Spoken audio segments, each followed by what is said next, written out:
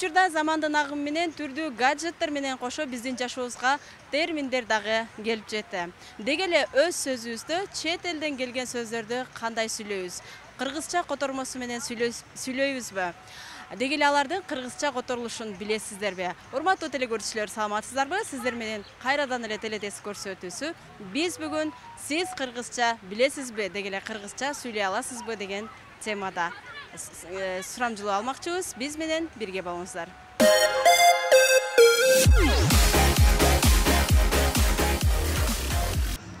Урматтуу телекөрүүчүлөр биздин көрсөтүүдө ар дайым жеңүүчүлөрдү аныктап келебиз. Бул жолу да биздин жеңүүчүбүз бар. Замандашыбыз өткөн көрсөтүүдөгү суроого туура жооп бергендиги үчүн өнөктөшүбүз семетей кинотеатрынан чакыруу белегине ээ болду. Ал эми сиз дагы көрсөтүүнүн жеңүүчүсү аталып белекке ээ болгуңуз келеби анда көрсөтүүнүн аягына чейин көрүп барыңыз дагы берилген суроого жооп берип белектерге ээ болуңуздар.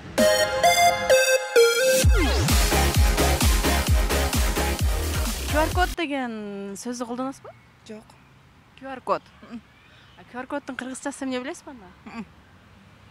Такыр мен сизге төрт вариант айтайын бирөөсүн тандап өтүңүз э ала дарек чаар дарек интернет дарек же болбосо негизги дарек негизги дарек кайсы вариант туура негизги? Негизги дарек qr код деген сөздү колдоносузбу негизи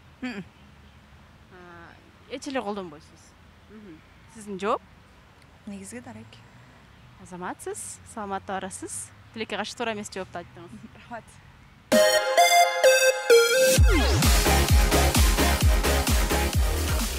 Же саламатсызбы qr код деген сөздү колдоносузбу qr код деген сөздү ооба албетте колдоном ушул qr код сөзүнүн кыргызча аталышын билесизби жок чын айтсам билбейт экенм кыргызча болду бекен деп ойлонуп көрдүңүзбү белең эми болбосо керек ал сөз бизге чет өлкөдөн келип атпайбы кыргызча котормосу бар экен которушуптур мен сизге төрт вариант атап өтөйүн кайсы вариант дал келет ойлонуп көрүңүз э а варианты бул ала дарек дейт б варианты чаар дарек в варианты интернет дарек г варианты негизги дарек. Интернет дарек болсо керек анткени qr коддун аткарган функциялары только интернет аркылуу кетет да. Мындайча айтканда интернеттеги мөөр деп койсок дагы болот э печать деп? Ооба ушинтип толук сиз эми интернет дарек дегенге токтолдуңузбу же дагы үч вариант бар карап көрөсүзбү? Жок интернет дарекке токтодум. Токтодуңуз. Дагы бир суроого жооп берип өтүңүз. Май айынын кыргызча аталышын билесизби? Май айынын кыргызча аталышы буга эне айы болсо керек буга эне эмес буга айыл э азаматсыз май айынын кыргызча аталышын мыкты билет экенсиз а бирок биздин негизги берген qr коддун кыргызчасын билесизби деген суроого бир аз туура эмес жооп берип койдуңуз тилекке каршы сиз менен коштошобуз саламатта барыңыз саламатта барыңыз рахмат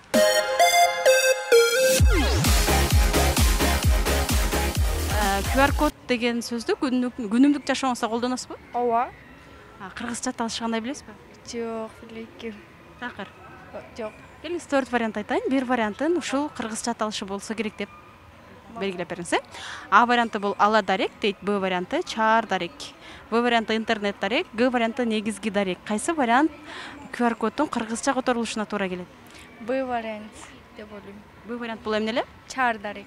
Чаар дарек. Эмне үчүн чаар дарек деп токтолуп жатасыз анда qr коддо эмелери чыр чыр болуп турат го жакшы көрүнбөй ошондон деп ойлойм.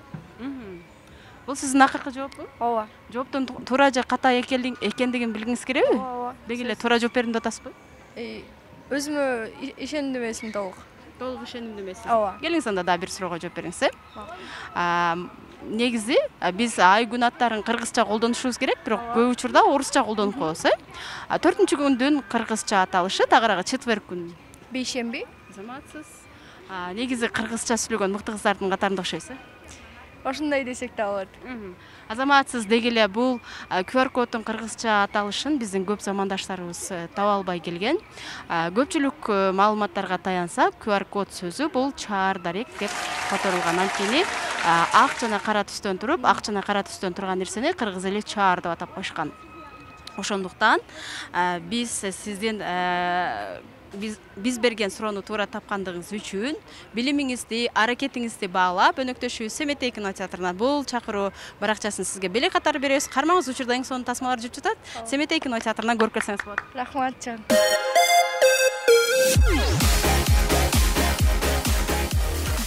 Оригинал деген сөздің кыргызчасын билесизби? Оригинал э, маанисин билем бирок кыргызча түшүндүрө албай атам баарыбыз эле мына ушундай экенбиз да. Оригинал деген сөздүн маанисин бирок билет экенбиз бирок кыргызча айта албайт экенбиз сиз кыргызча эмне деп айтмакчысыз оригинал сөзүн оригиналбы бул кандай десем?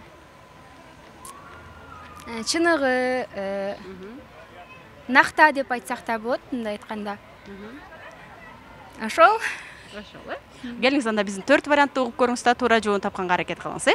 А варианты бул эч жерде жок дейт б варианты түп нуска г варианты нукура а, в варианты нукура г варианты көчүрмөсү жок дейт түп нуска эмнеге мага ошол жакын болуп атат бизде нукура көчүрмөсү жок эч жерде жок деген дагы бар. Билбейм түп нуска жакын болуп атат мага эмнегедир ошону ойлоп атам ошол болсо керек деп.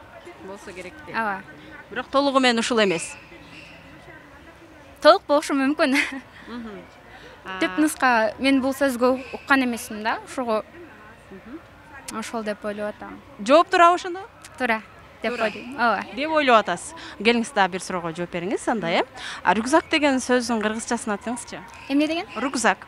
Рюкзак э, кандай десем? Учурда баарыбыз рюкзак көтөрөбүз э күнүмдүк жашообуздагы буюм кыргызча кантип айтат элеңиз кыргызча аны. Негизи өзүм түшүнүп атам бирок э, кыргызча түшүндүрүп бере албай атам. Рюкзак. Варианттар барбы варианттарын айта албайбыз. Рюкзак сөзүнүн кыргызчасы. Урматтуу замандаштар сиздер билип турат болушуңуздар керек ал эми сиздин жообуңуз айта албайм айта албайсыз ооба урматтуу телекөрүүчүлөр эгер бизди көрүп жаткан болсоңуздар анда экранда чыгып турган whatsapp номерлерибизге рюкзак сөзүнүн кыргызчасын комментарийге жана ошондой эле whatsapp номерлерибизге жибериңиздер ким биринчи жиберген болсо өнөктөшүбүздөн билетке ээ болот. Ал эми сиз оригинал сөзүнүн кыргызчасы бул түп нуска азаматсыз негизи эле оригинал дегенде биз ооба маанисин түшүнөбүз сиз айткандай а бирок анын кыргызча которулушуна маани деле бере бербейбиз. Түп нуска деп которулат А, суроонун жообун туура тапкандыгыңыз үчүн биз өнөктөшүбүз семетей кинотеатрынан сизге чакыруу баракчасын бел- э, белек катары беребиз. Алыңыз учурда эң сонун тасмалар жүрүп жатат. Көрүп келсеңиз болот. Сизден чоң рахмат. Түп нуска деген сөздү уккан эмескем сиздердин э, жардамыңыздар менен оригиналдын кыргызчасын билип алдым. Мындан ары колдоносузбу ооба. Аракет кылам колдоно жүрүңүз жана ошондой эле курдаштарыңызга сунуштай жүрүңүз э? Ооба түп нуска деген бул өтө сонун сөз экен жакты мага саламаттарыңыз рахмат чоң сиздерге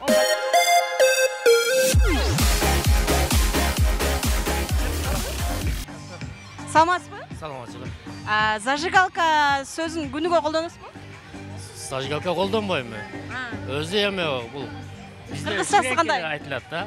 Ширеңки э ооба. Кыргыз зажигалка сөзүнүн кыргызчасы кандай муну билбейт экенмин чын А, сиздин вариантыңыз боюнча кандай айта мүмкүн вариант эми эми кыргызчасы эле мындай отча кылган да бир мындай иштетилет да адамга анан күкүрт деп айтылган да өзү келиңиз мен сизге төрт вариант айтам. Кошо окушсаңыз болот анан туура жоопту тандап берсеңиз белекке ээ болосуз а А варианты бул күкүрт дейт б варианты жандыргыч в варианты күйгүзгүч г варианты тутандыргыч дейт. Тутандыргыч да? Тутандыргычпы дагы карап көрүңүз төрт вариант бар. Күкүрт жандыргыч күйгүзгүч тутандыргыч. Күйгүзгүч туурабы кайсы вариантка токтолдуңуз? Күйгүзгүч күйгүзгүчпү Ооба. эмнеге эми күйгүзөсүң да аны онтпесең күйгүзбөсө каякта күйөт ага а бирок сиз жашооңузда зажигалка деп колдоносузбу же күйгүзгүч деппи эми зажигалка да ол кийин эле чыкпадыбы зажигалка ол мурун жок эле да эгер ошол зажигалканы берип кой же алып кой а, ала кел деген сөздөр болуп калса зажигалка дейсизби же күйгүзгүч дейсизби бизде ол калыптанып калган зажигалка десе сразу сезесиз күйгүзгүч деп элечи а мындан ары күйгүзгүч деп колдоносузбу анда эми ошондой эле да андан башка кандай азамат сиз негизи а, жандыргыч тутандыргыч десек дагы синонимдик жактан туура келмек. Бирок негизи которулганда бул күйгүзгүч деп которулуп тур зажигалка сөзү суроого туура жооп бергениңиз үчүн өнөктөшүбүз семетей кинотеатрынан сизге бул чакыруу баракчасын белек катары беребиз кармаңыз бул сиздики мындан ары зажигалка дейсизби же күйгүзгүч дейсизби күйгүзгүч эле дейсиз го азамат сиз башкаларга да сунуштай жүрүңүз макул рахмат А, студентсизби же кандай магистрантмын демек эжеке болосуз ооба кесибиңиз мугалим мугалим эгер мугалим болсоңуз а, тестти текшергенде туура болсо кандай белги коет элек жанагы галочка.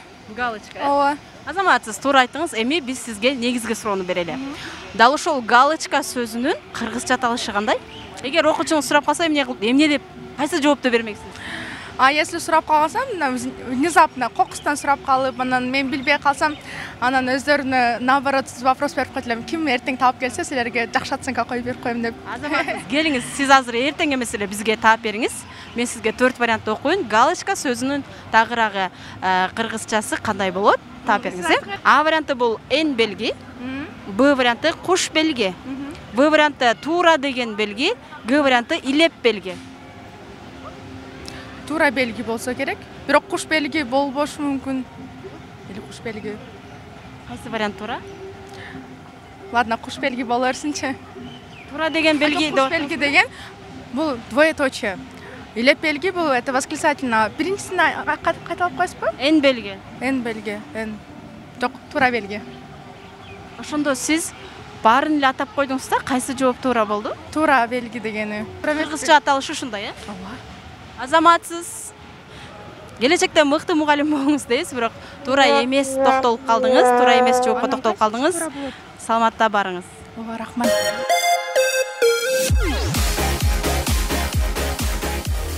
Галочка дегенди түшүнөбүз да э ооба. Кандай болот? Көрсөтсөңүз ушундай эле болот. Дал ошол галочка сөзүнүн кыргызча аталышын билесизби билбейм билбейсиз шайлоого барасызбы жок баргансызбы жок эми эле чыктык А, негизи туура болсо эмне менен белгилейбиз галочка менен а белгилейбиз ката болсо вообще белгилебейбиз да. А, дал ушул кыргызча сөз э, галочка сөзү кыргызчага которулат экен да? Сиз кандай деп которот элеңиз? Билбедим билбедиңиз э мен сизге төрт вариант айтайын. Сиз туура жообун тандасаңыз белекке ээ болосуз э келиңиз чогуу окусаңыз болот галочка деген бул сыяктуу болот э мындай э а варианты бул эн белги б варианты куш белги в варианты туура деген белги в варианты туура деген белги г варианты илеп белги кайсы вариант туура туура деген белги ооба туура деген белгини биз галочка менен белгилейбиз куш белгиси а кандай аталат кыргызча эмнеге куш белги мындай куш сыяктуу болуп калат ошого сиз азыр туура деген белги анан куш белги деген эки вариантка токтолдуңуз эми кайсынысына көбүрөөк токтолосуз куш белги дегенге. Куш белги эмне үчүн кушка окшош болуп кетет окшошкон үчүн элеби ооба ошон үчүн да э келиңиз э, дагы бир суроого жооп берип өтүңүз. Массаж деген сөздүн кыргызчасы кандай эле? Билбейт массаж. Атайын көрнөк жарнактардан эмне деп окуп калат эле? Массаж деп эле окуйбуз бирок кыргызча аталышы билбейм. Массаж сөзүнүн кыргызча аталышы ушало укало дегенди билдирет экен ал эми э, сиз болсо галочка сөзүнүн кыргызча аталышы бул. Куш белги деп туура таптыңыз анткени. Сиз белгилеп айтып өткөндөй бул эмне куш куш белги деп кушка окшош болгондугу үчүн. Мындан ары галочка дейсизби же куш белги куш дейсизби белги деп айтам. Азаматсыз куш белги деңиз анткени. Мамлекеттик тилде сиз жана мен сүйлөбөсөм анда ким сүйлөмөк эле э? Ооба. Туура тапкандыгыңыз үчүн биз сизге өнөктөшүбүз семетей кино театрынан бул чакыруу баракчасын белек катары беребиз. Бул сиздики барып эң сонун кино тасмаларды көрүп келсеңиз болот. Рахмат чоң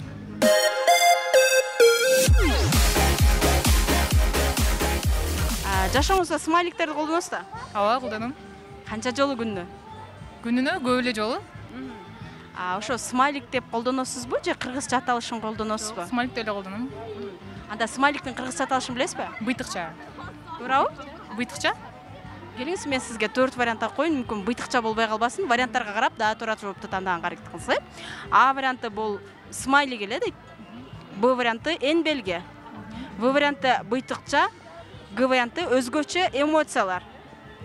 Быйтыкча быйтыкча а эм- э, негизи сөзүңүзчө быйтыкча дейсизби же смайлик деп эле колдоном смайлик деп эле колдоном а эмнеге быйтыкча дебейсиз билбейм көнүп калганбыз го смайлик дегенге эле эгер э, с- быйтыкча десеңиз жаныңыздагылар түшүнөт деп кабыл аласызбы билбейм түшүнгөндөр түшүнөт түшүнбөгөндөр билбейм мындан ары буйтыкча дейсизби же смайлик дейсизби буйтыкча дейм азаматсыз. Негизи башында эле суроо бергенибизде туура жоопту бергенсиз смайликтин кыргызча аталышы бул буйтыкча мындан ары а, буйтыкчаларды колдоно жүрөлү э урматтуу замандаштар э, биз бул замандашым туура жоопту бергендиги үчүн смайликтин кыргызчасы бул буйтыкча деп туура жоопту бергендиги үчүн өнөктөшүбүз семетей кинотеатрынан бул чакыруу баракчасын сизге берек катары беребиз мындан ары жашооңуз ар дайым ар түрдүү буйтыкчаларга толуп жүрсүн рахмат чоң рахмат сиздерге да урматтуу телекөрүүчүлөр биздин замандаштарыбыз бул сөздөрдүн аталышын кыргызча билерине ортоктош болдуңуз эми келиңиз кийинки сөздүн кыргызчасын сиз мыкты билесизби анда жооп берип белектерге ээ болуңуз суроо люстранын кыргызча аталышы кандай а варианты бул шам б варианты шамчырак в варианты асма чырак г варианты илме шам эгерде ушул төрт варианттын кайсынысы люстра сөзүнүн кыргызча которулушуна туура келсе анда дароо алгачкылардан болуп жоопту жөнөтүңүз дагы э, өзүңүздүн белегиңизди алууга үлгүрүңүз. Биздин көрсөтүү жыйырма мүнөт бою сиздер менен болду. Кайрадан эфир аркылуу амандашканча саламатта туруңуздар